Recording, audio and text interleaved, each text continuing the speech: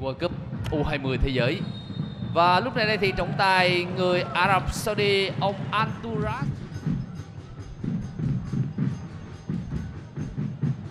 cơ hội nguy hiểm.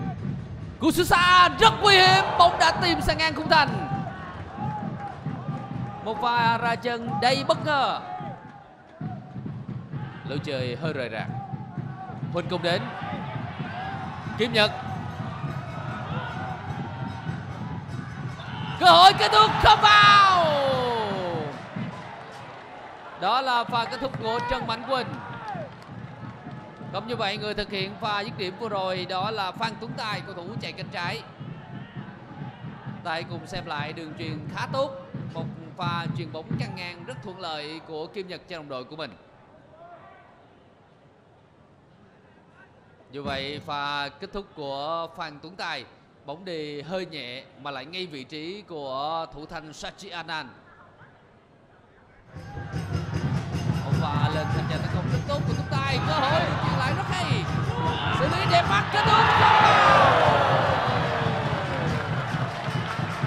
Và xử lý khá tốt của Trần Mạnh Quỳnh. Nhưng thủ môn Sachi Anand đã xuất sắc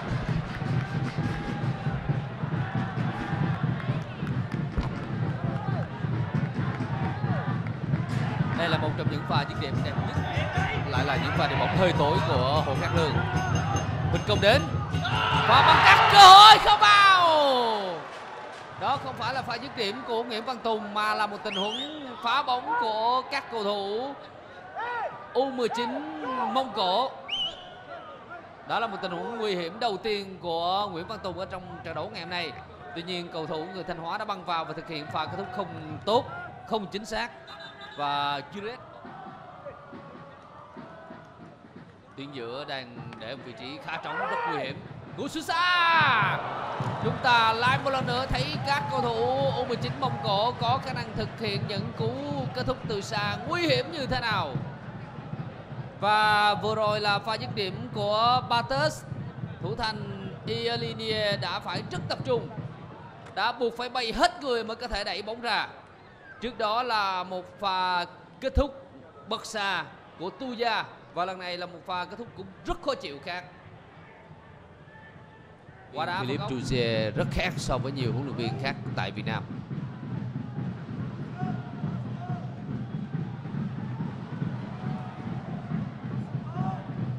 Tuấn Tài. Phạm Văn Hữu bóng vẫn còn trong cuộc. Cần có những pha kết thúc xa. Kết thúc như vậy là bàn thắng đã đến cho các cầu thủ U19 Việt Nam.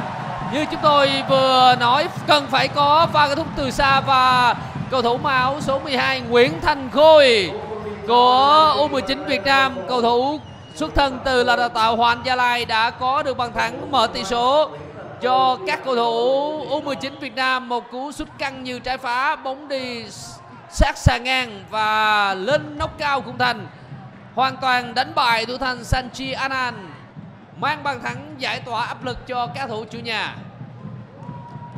Khi mà ở trong trận đấu mở màn ngày hôm nay khi ghi 10 bàn thắng vào lưới của đảo Gam. Và bây giờ là Tuấn Tài. Cơ hội kết thúc không vào. Một cú sút rất mạnh. Cú dứt điểm rất mạnh của Văn Tùng. Nhưng bóng đã tìm đúng sang ngang cung thành của thủ môn Sanchi Anand lần đầu tiên ở trong trận đấu ngày hôm nay chúng ta thấy một cú ra chân rất mạnh của vua phá lưới giải U17 quốc gia vừa rồi. Cú sút rất căng. Nhưng xa ngang cũng thành đã cứu thua cho các cầu thủ U19 Mông Cổ.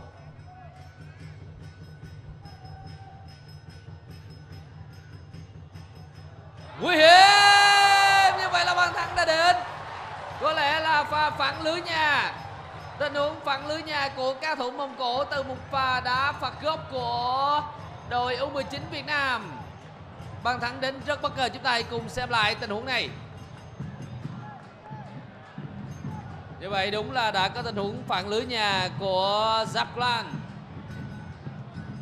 người chạm bóng cuối cùng đó là số 2 Zaplan tỷ số đã là Surabusen không có việc vị. Rất khó chịu. Cú dứt điểm. Lại một lần nữa, may mắn đã không đến với các cầu thủ mông cổ lần thứ hai ở trong trận đấu ngày hôm nay. Bóng tìm đến xa ngang khung thành.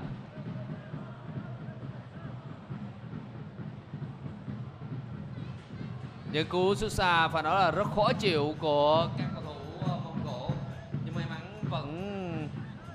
đang đứng về phía cao thủ ờ, U19 Việt Nam.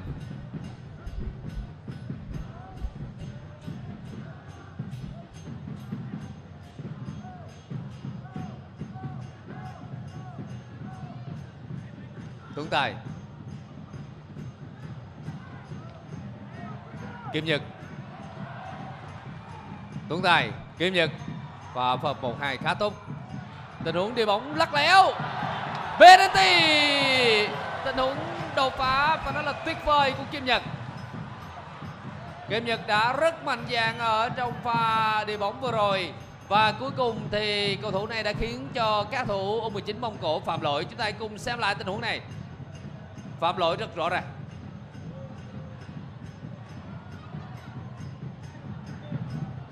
Và bây giờ thì các thủ U19 Việt Nam sẽ được hưởng một quả penalty. Cơ hội để nâng tỷ số lên 3-0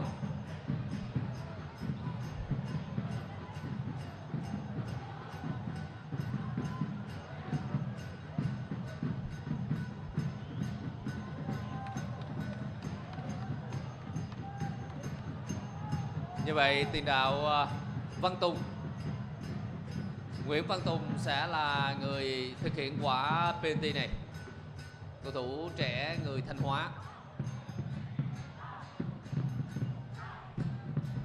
Văn Tùng trước đó cũng đã có một cú sút bật sang ngang khung thành từ cú vô lê sấm sét. Cú sút của Văn Tùng, không thành công, nhưng cú đá bồi. Nhưng Văn Tùng đã có cú đá bồi thành công sau một pha dứt điểm khá mạnh trước đó bị thủ thành Anan đẩy ra. Và cầu thủ áo số 10 của đội U19 Việt Nam đã bình tĩnh thực hiện cú đá bồi, nâng tỷ số lên 3-0 cho các thủ U19 Việt Nam. Cú đá khá khó chịu nhưng à, thủ thành Sanchi Anand cũng đã chơi rất hay.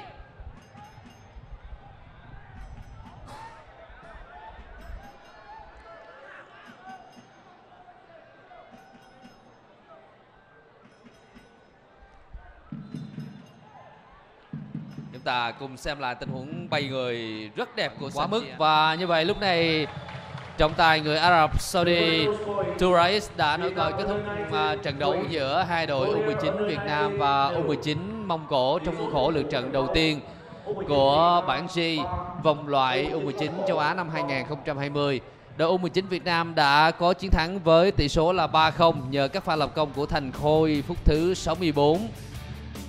Rồi à, sau đó là pha phản lưới nhà của Jacklan ở phút thứ 7.